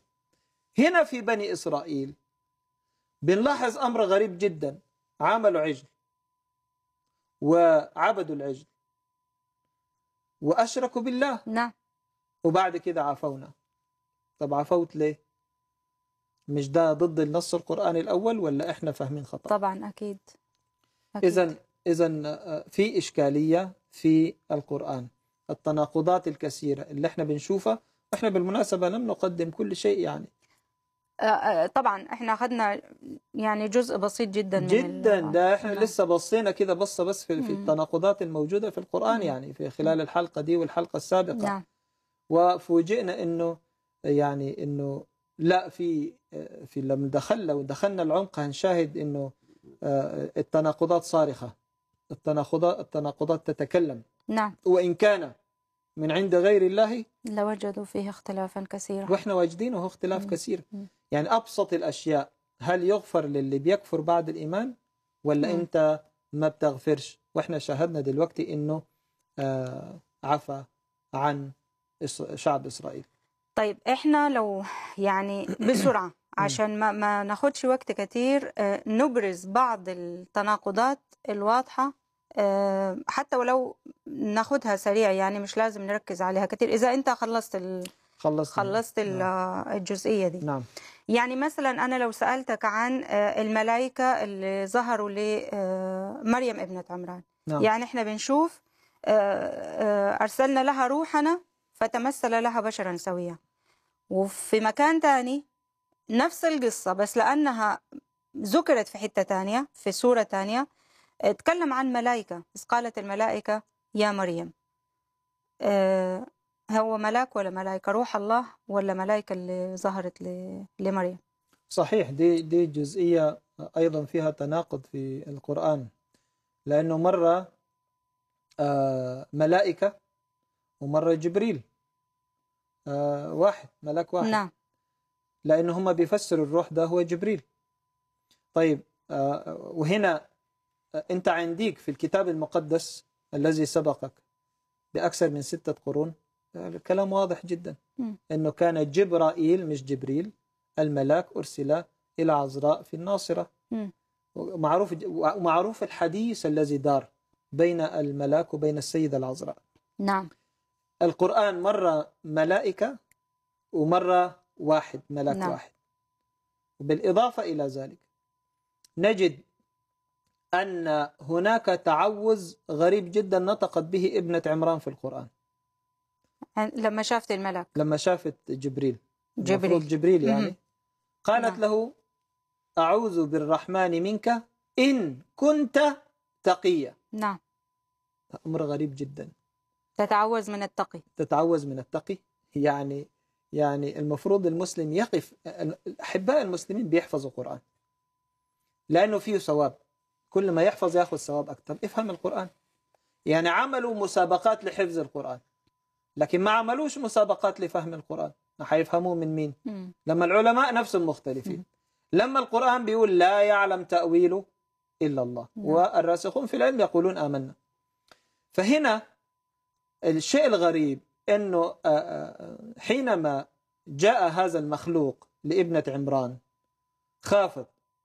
المفروض لا تقول له أعوذ بالرحمن منك إن كنت تقيا إن كنت تق... إن كنت تقيا أعوذ بالرحمن. نعم. هذا هو التنقيط والتشكيل الخطأ الذي حدث في القرآن. يعني هم الذين شكلوا هم الذين نقطوا. طيب مش المفروض إن هم حافظين القرآن؟ وحتى هم بيقولوا إحنا حافظين القرآن. طب من أين جاءت القراءات المختلفة؟ ومن أين اليوم في مصاحف المسلمين أخطاء مختلفة؟ نعم. فقراءة ورش غير قراءة قالون غير قراءة آه، آه، حفص. طب هي كانت إيه يعني؟ أعوذ بالرحمن منك المفروض كنت- السياق الطبيعي المنطقي أعوذ بالرحمن منك إن كنت شقيا تأتي هكذا كمفهوم منطقي. إن كنت شقي أتعوذ بالرحمن منك. وعشان ما فيش نقط؟ ما كانش وضع واضح. التقية أعوذ بالرحمن منك. إن كنت تقيا مم. وطبعا ده يعني لا المنطق يقبل السياق ولا صاحب لغة فاهم. يعني يقبل أنه أعوذ بالرحمن منك إن كنت تقيا لأنه إن كنت تقيا لا أتعوذ بالرحمن. فقال أنت تقي. أتعوذ لي بالرحمن؟ نعم. فأيضا هذه جزئية تضاف لأنه إذا كان مش مجرد ملائكة وملاك لا ده كمان حتى في موضوع الملاك بنلاقي فيه كلام غريب. قيل أعوذ نعم. بالرحمن منك إن كنت تقيا. طيب حتى المكان بتاع مريم ابنة عمران آه، يعني برضو في تناقض لأن هو برضو أنا مش عارفة يعني. المشكلة لأنه هو بيحكي القصة أكتر من مرة فبيقع في في أخطاء كثيرة جدا. مم. يعني وهو بيحكي وأنا مش عارفة ليه هو بيحكي القصة أكتر من مرة. ما تحكيها كلها مرة واحدة وريح نفسك وريح الناس معك. آه، آه، انتبذت في بيتها مكانا شرقيا في بيت أهلها في مرة. وفي مرة تانية هي كانت في المحراب مع زكريا وبيدخل عليها وبيلقى عندها أكل والكلام ده كله. فهل هي كانت في, في بيت أهلها انتبذت مكا- مكانا قصية ولا كانت في المحراب ولا كانت فين بالضبط؟ يعني في في في آه، تناقضات مش مفهوم حتى ليه يعني اللي بيحصل ده. صحيح وحتى في موضوع قصية أضيف لل- لل- للجزئية دي إنه خلاها تروح في مكان قصية بعيد علشان تلد. طيب قلنا ماشي هنتابع الموضوع ده. فخلاها تلد تحت نخلة نخلة في الشارع كده تحت النخلة ولدت. طيب آه، أيهما أكرم تخلي آه، آه، المرأة تلد في الشارع تحت نخلة؟ ممكن أي حد ماشي وجاي يعني المرأة تلد معروفة المرأة نعم. تحتاج إلى مكان يسترها يعني. نعم. ولا كما ذكر الكتاب المقدس أنه في مزود. ما الكتاب المقدس قبلك ذكر أنها ولدت في مزود. فموضوع قصية ده ذكروا أكثر من مرة. بعدين أنت ذكرت جزئية هامة جدا المحراب. مم. ما هو المحراب؟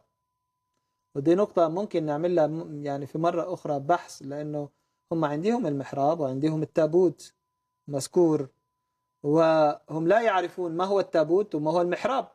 ودلوقتي بنسمع آه، مقولة جديدة من شيوخ آه، من بعض الشيوخ يقولون أنه أساسا لم يكن هناك هيكل. وهذه خرافة. طبعا لأنه في رعب لأنهم عارفين أنهم بنوا المسجد الأقصى على أنقاض الهيكل نعم. اليهودي. نعم. وعنديهم سبحان الذي أسرى بعبده ليلا من المسجد الحرام إلى المسجد الأقصى الذي باركنا حوله. وما كانش في مسجد أقصى ساعتها لأنه بني بعد ذلك. في أيام الرسول. فيقولون لا هو في المكان الذي كان سيبنى فيه المسجد الأقصى وكان بيربط فيه ال- ال- الدابة بتاعته. مكان رب آه، آه، اللي بيربط فيه ال- الخيل يعني. نعم. ف آه، إذا ما هو المحراب وما هو التابوت؟ إذا كان ما فيش أصلا هيكل.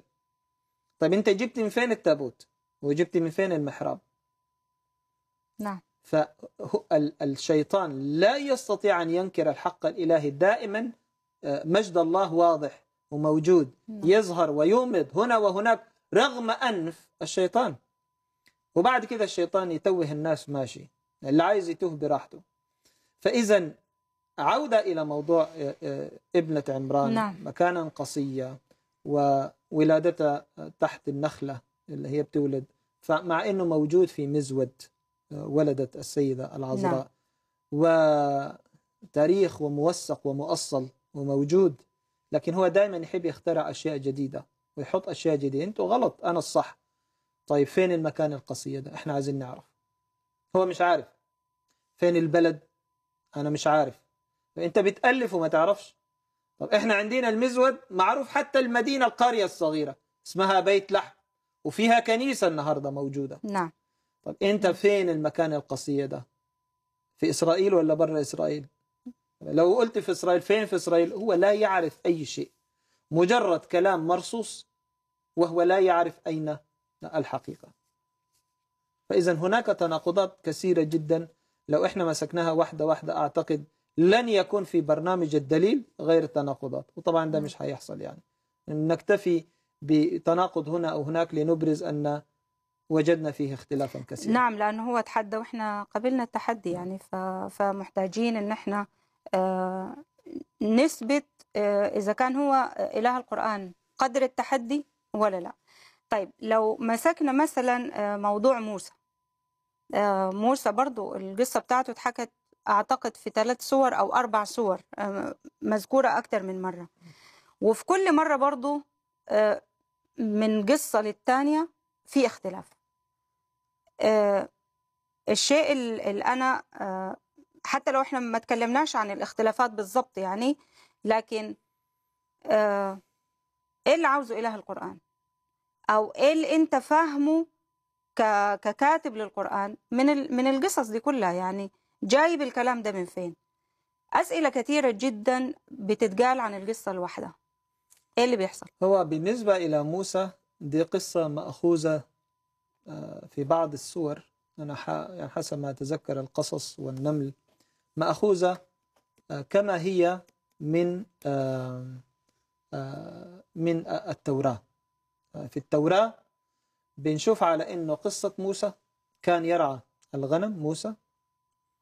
ونظر وإذا شجرة تشتعل ولكنها لا تحترق. يعني النار في وسط الشجرة ولكن الشجرة لا تحترق. طيب لحظة قبل ما تكمل. آه، هل القصة مذكورة في الكتاب المقدس مرة واحدة ولا آه، زي كده ما بنشوف في القرآن؟ لا الكتاب المقدس مختلف. الكتاب المقدس رائع ومفصل وواضح ويأتي بالموضوع مرة واحدة يحطه كده. بعد كده لو جاء نبي يعلق يعلق من خلال القصة الموجودة أساسا لكن لا تأتي بطريقة أخرى ومؤمن مختلفة. بيها بكل كلمة فيها. طبعاً، أي طبعاً. نبي أو أي شخص بيتبع الكتاب المقدس هو مؤمن بالقصة من أولها لآخرها. طبعا لم يأتي نبي في تاريخ الأنبياء أساسا وقال أن الذي سبق كان محرف على الإطلاق. النبي مم. الحقيقي لا يفتري على الله ويقول الذي قبله كان محرف أو مزور على الإطلاق. وحقيقة حتى رسول الإسلام لم يقل هذا الكلام. يعني رسول الإسلام نفسه لم يقل أن التوراة محرفة ولا ولا ولا الإنجيل محرف ولم يأتي نص واحد واحد في القرآن باللفظ باللفظ يقول التوراة والإنجيل محرفين ولا مرة على الإطلاق بالعكس هناخد الموضوع ده أكيد في حلقة بنعمة المسيح بس ولكن هذا لا يعني أنه نبي من عند الله أيضا رسول الإسلام هذا نعم. لا يعني أنه نبي من نعم. عند الله نعم. أرجع لموضوع الشجرة موسى. التي تحترق وموسى رآها ومذكورة في سفر الخروج بدايات سفر الخروج الأصحاح الثالث تقريبا الثالث والرابع. نعم. فإذا رأى موسى الشجرة تحترق وفيها النار وهي لا تحترق. فقال أميل لأنظر, لأنظر هذا المنظر العجيب. كيف شجرة فيها النار وهي لا تحترق؟ وناداه الله وقال له اخلع عن عليك لأن المكان الذي أنت واقف عليه أرض مقدسة. وكان الله يتكلم من داخل النار. من داخل النار. نعم. كويس. جاء رسول الإسلام وحكى هذه القصة وتم بعثرتها في ثلاث صور وناقصة يعني حتى لو جمعتها من الثلاث صور هي ناقصة ليست كاملة. مم. مضطر أنه يرجع المفسر للكتاب المقدس كالعادة ليكمل الصورة يعني. مم. حينما نقلها أيضا لم يستطع أن يطفئ ذلك النور. الموجود في الموضوع لأنه هذا الموضوع في ذاته له بعد لاهوتي في الكتاب المقدس واضح جدا. البعد اللاهوتي أن الله في الشجرة النار تشتعل والنار لا تحرق الشجرة ولكنها موجودة في الشجرة. فالله لاهوته سيحل في الإنسان والإنسان لا يحترق. وكذلك إشارة إلى حلول الله الكلمة في أحشاء العذراء لتلد مخلص العالم وهي لا تحترق. وإشارة إلى المسيح ويحل فيه اللاهوت في طبيعته البشرية وطبيعته البشرية لا تحترق. هذا البعد اللاهوت الرائع. الشيء الغريب أن في القرآن ورد هذا اللفظ بورك من في النار. بورك من في النار دي تعالي بقى شوف المفسرين. من هذا الذي في النار؟ يعني سألنا أحباء مسلمين كسر. من الذي في النار؟ الذي يقول عنه كاتب القرآن بورك من في النار. موسى مش في النار. والملائكة مش في النار الملائكة حول النار. من هذا الكائن؟ الذي في النار. والذي قيل عنه في القرآن بورك من في النار. وده الله اللي بيتكلم. طبعا الله المتكلم المفروض يعني في القرآن الإله القرآن يتكلم. لا يا بحسب آه، يعني فهم المسلمين. صحيح. فإحنا بحسب ما هم فاهمين بنتكلم يعني. ثم الأمر الآخر ناداه الله من البقعة المقدسة وبعدين من الشجرة. والوادي. والوادي. يعني مش عارفينها شجرة ولا وادي ولا بقعة مقدسة ولا إيه بالظبط الله نادى موسى. الله نادى آه، آه، موسى نعم. نعم. طيب. هل الله نزل ونادى موسى؟ لا لا لا الله ما بينزل. طيب موسى سمع الصوت من فين من الشجرة. من الوادي؟ طيب هل الله أرسل صوته إلى الوادي لينتقل إلى موسى؟ طيب من الذي في النار؟ وقيل بورك من في النار. طبعا في التفاسير في بعض المفسرين وصلوا إلى أن الله جل جل ثناؤه هو هو الذي في النار. وأن هذا النور هو أيضا نور الله. طيب لما الله موجود في النار ودي بالمناسبة أنا حأفصل يعني بنعمة ربنا إذا سمحتي حلقة كاملة لموضوع الله وفي القرآن أكيد. وبالأدلة وبالبراهين. إحنا هنا بنناقش مجرد أفكار لنظهر كيف أن التناقض موجود في القرآن بين سورة وأخرى في القصة نعم. الواحدة. نعم نعم. يزيد هنا وينقص هناك. نعم. فإذا عدة أسئلة ليست لها إجابة شافية. شافية بمعنى أنه خلاص إحنا عايزين نجد الإجابة الشافية التي آه، يعني آه، تتناسب مع السياق الموجود في نعم. آه، القرآن. نعم. فإذا عودة آه، إلى السؤال أن الصورة مبعثرة في أكثر من القصة مبعثرة في أكثر من من صورة. سورة ذلك لأن جمع القرآن تم بطريقة بائسة جدا بالمناسبة. وكان بياخذوا من أي واحد حافظ نصوص يحطوها يحطوها حتى لو مش في مكانها هم عايزين دلوقتي ياخذوا كل ما قيل. ولذلك تجد النصوص مبعثرة هنا وهناك. مم. وعمر بن الخطاب كان بيقف قدام المسجد ويشوف الناس الطالعة هل معه سورة من القرآن أم لا. هذه طريقة جمع بها أفضل كتاب في العالم. آه، معلش تاني الحتة دي؟ يعني عمر بن الخطاب كان بيقف أمام المسجد وبعض الناس الخارجة من المسجد بيسألهم هل معك آية من آيات الله ولا لا. إنه حافظها يعني. آه حافظها ولا لا؟ ولازم أها. يجد معاه طبعا آه، شاهد آخر يكون حافظ ال- ما عدا أتذكر شخص اسمه أبو خزيمة لم توجد معه لم يجد شاهد آخر فحسب له شهادة بشهادة رجلين يعني هكذا حسبها. له. لأنه عنده يعني موقع خاص من رسول الإسلام. المهم هذه في ذهني يعني قرأتها نعم. قرأتها منذ زمن يعني. مم. أرجو أن أكون مصيب في هذه الجزئية. نعم. ف يعني الحتة اللي أنا بركز عليها هذه ال ال ال ال البعثرة. البعثرة الموجودة هي آه، ليست مقصودة ورغم أنفه آه، جمع القرآن بهذه الطريقة رغم أنف الذين جمعوا القرآن أقصد يعني. نعم. جمعوا بهذه الطريقة لأنه آه، بعد موت رسول الإسلام اختلف القراء وحصلت مشكلة وكل واحد عنده قراءة وخاف أبو بكر إنه في كارثة كل واحد عنده ق- قراءة أخرى وبعد كده تم جمع الأول والجمع الثاني في أيام عثمان بن عفان بعد ما أحرق المصاحف كلها. هذه كلها أدت إلى هذه البعثرة اللي أنت مستغربه عنها أدى بالتالي إلى التناقض الموجود في القصة الواحدة في صور مختلفة. بس برضو برضو هي الآيات نازلة. نازلة. نعم. يعني من السماء. فوجود ال... وجود الآيات يعني أو إذا هم جمعوا الآيات بالطريقة دي ده ما بينفي إنه الآيات فيها تناقض. صحيح عارفة أكثر شيء يفتخر به المسلم هو أكبر مشكلة في القرآن. اللي هو؟ فخره هو المشكلة ذاتها إنه اعتمدوا على الحفظ وليس على التسجيل. اعتمدوا على الحفظ. ناس بتحفظ. واللي بيحفظ ده بينسى وبيختلف مع الآخر وده حصل حتى في عصر الرسول. اختلفوا في الحفظ. فلم يعتمدوا على التسجيل والتدوين. هذا التسجيل ده هو الباقي. هو الموجود هو الواضح. تعال اختلفنا. لا إحنا مسجلين أهو. ده نعم. الدليل. مم. ليس لديهم دليل. وبالتالي شيء طبيعي إنه ما يفتخرون به إنه حفظ للقرآن هو الذي ضرب القرآن. لأن الحفاظ منهم من مات ومنهم من قتل ومنهم من اختلف م- واحد مع الآخر في حفظ القرآن. والأدلة كثيرة. على أقل أقل تقدير ما نراه اليوم من مصاحف مختلفة عند المسلمين في المغرب. نعم. وفي ليبيا مم. وفي مصر آه، مصاحف مختلفة. طيب إحنا آه، بقينا حوالي دقيقة تقريبا لل- للبرنامج. آه، يعني إديني ملخص كده بسرعة بسرعة للحلقة يعني أنا كل ما أريد أن أقول أنه القرآن قال لو كان من عند غير الله لوجدوا فيه اختلافا كثيرا أو كبيرا. وأنا بحب أقول للأحباء ال- المسلمين ارجعوا إلى القرآن واقرأوا القرآن وافهموا القرآن. افهموا القرآن. وأدرسوا تفاسير القرآن.